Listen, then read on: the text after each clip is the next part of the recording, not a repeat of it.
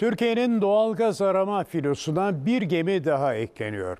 Türkiye'nin elinde hangi gemiler var? Yeni gemi hangi özelliklere sahip?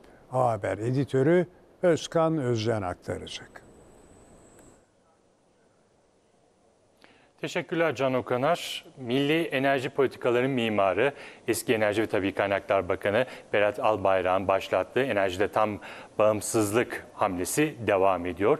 Geçtiğimiz günlerde Kuzey Kıbrıs Türk Cumhuriyeti ziyareti dönüşü uçakta müjdeli bir haber verdi Başkan Recep Tayyip Erdoğan ve yüzer gaz işletme platformu gemisinin alındığını söyledi ve iki ay sonra da Türkiye'de olacağını belirtti.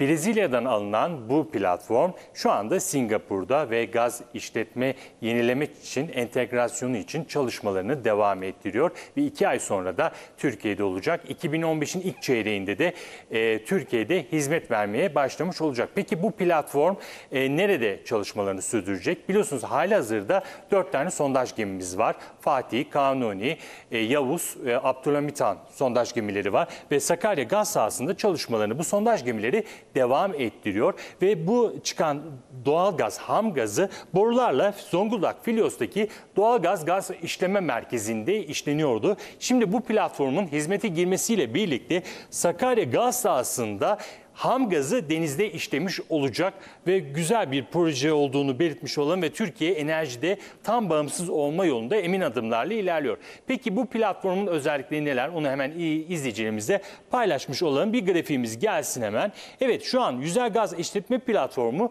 300 metre boyunda 58 metre genişliğinde yani tam 4 futbol sahası büyüklüğünde olduğunu söyleyelim. Gemiye benzeyen platformun motoru yok. Dediğimiz gibi Sakarya gaz sahasında ham gazı denizde işlemiş olacak ve böylelikle 5 milyona kadar yetecek, 5 milyon kişiye yetecek kadar doğal gaz üretilmiş olacak.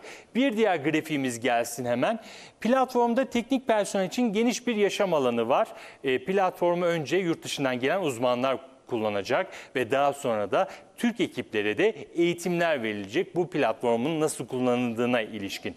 Türkiye özellikle ABD, Rusya, Norveç, Malezya, Brezilya'dan sonra 6. ülke bu platformu kullanacak 6. ülke olacağını hemen izleyicilerimizle paylaşmış olalım.